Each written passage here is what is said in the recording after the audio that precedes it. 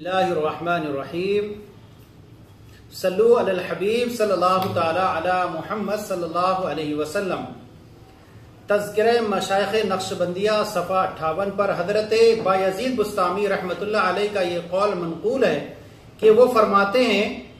کہ جہاں سے عام مومنین کے مقام کی انتہا ہوتی ہے وہاں سے صالحین کے مقام کی ابتدا ہوتی ہے اور جہاں سے صالحین کے مقام کی انتہا ہوتی ہے